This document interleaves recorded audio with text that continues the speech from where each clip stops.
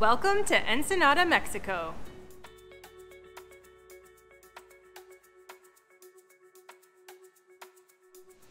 We are on our last day of our Mexican Riviera cruise, and this stop is Ensenada. Come explore this beautiful area with us as we share the highlights and tour around. Ensenada was our final stop on our itinerary, and because of the distance, we actually had a sea day between Mazatlan and Ensenada. The city is located on the coast of Mexico on the Baja California Peninsula and has a beautiful harbor and waterfront area, a colorful downtown, and some historical attractions as well.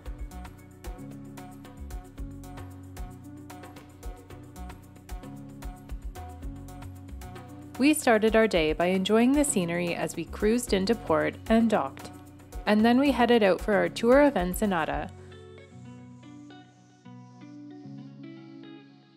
We got off the ship, found our tour guide, boarded a bus, and made it to our first stop, the Riviera del Pacifico.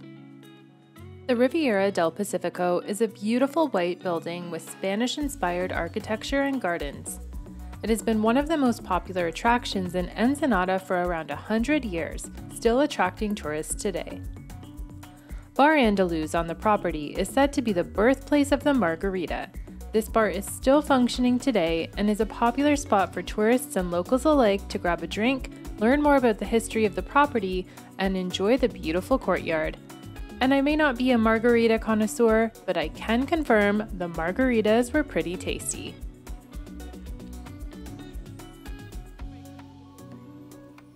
The Riviera del Pacifico was opened in 1930 as the Playa Ensenada Hotel and Casino. It attracted many of Hollywood's elite celebrities, especially during US Prohibition times. But after Prohibition ended, the hotel wasn't as popular and eventually closed its doors in the 1960s. And then, after being closed, the Mexican government refurbished the property and opened it up as a cultural center, preserving a lot of the original art, architecture, and decor. We enjoyed the visit and the free time to tour around this beautiful property.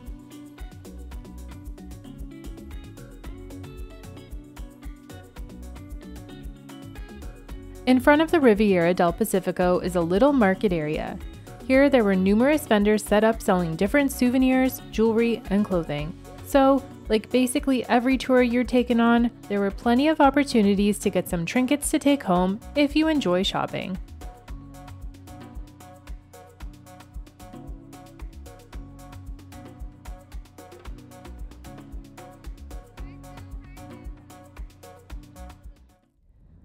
And we just happened to be in Ensenada to see the Baja 1000 in person. This is an annual Mexican off road race and is one of the most prestigious off road races in the world. We are in Ensenada, Mexico, and we are on our tour from the Norwegian Bliss, touring the city, and we just happened upon the Baja 1000, which is a huge race here. It attracts racers from across the world, and as you can see behind me, they're interviewing people as they cross the finish line. It is such a vibe and a great time to be in the city.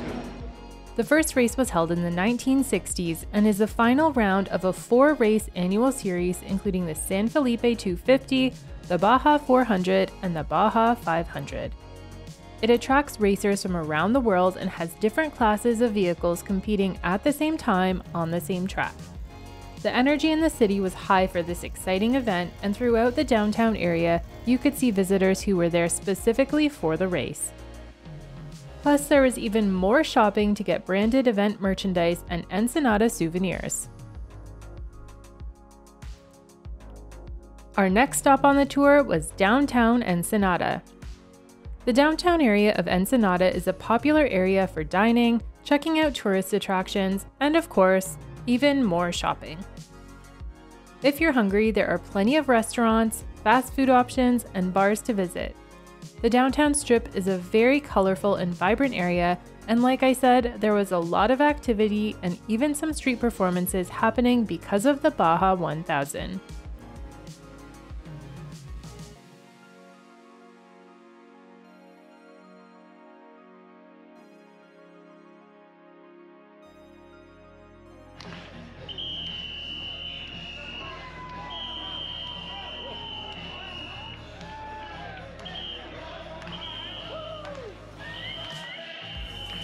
While you're in the area, you can check out the Regional Historic Museum. Unfortunately, we didn't have enough time on this visit, but it's a free attraction, so add it to your list.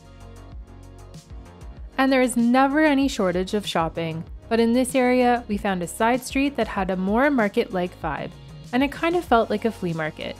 Lots more colorful trinkets and souvenirs. I did some browsing, but I didn't buy anything.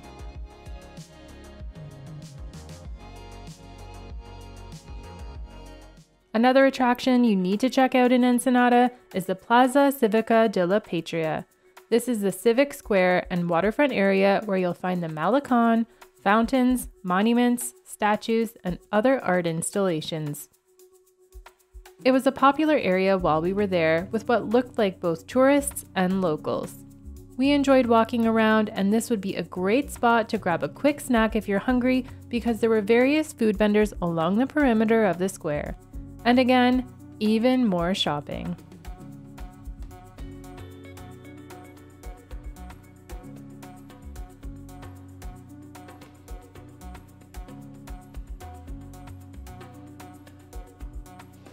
We are on our next stop on this tour and it is Bodega de Santo Tomas, which is the oldest winery in operation in Mexico and definitely in Ensenada. It started in 1888, so there are about 130 years of wine production and we're going to do a tasting.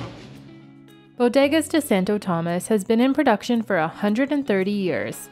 And in the heart of Ensenada, you will find the Cava Miramar, which is the old winery. The actual winery is located in the Santo Tomas Valley.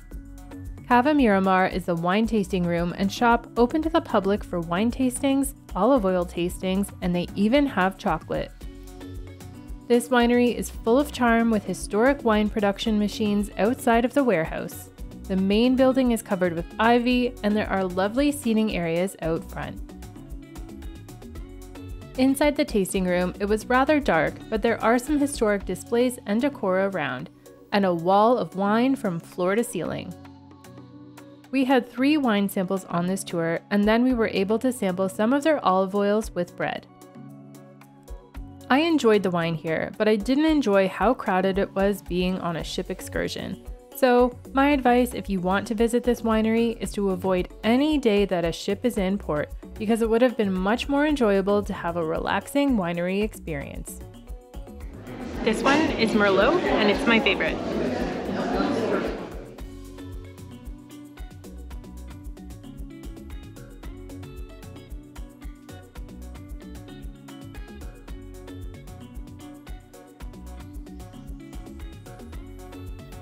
After the winery, we were taken back to the cruise port, and you need photo ID to get back into this area along with your cruise ship card.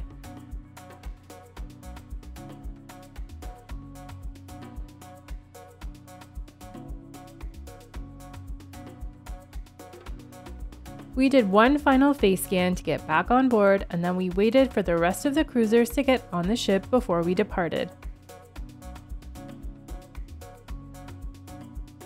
If you've never watched a cruise ship pack up their dock setup, it's quite the experience, and they are super quick at packing everything up and loading it back onto the ship.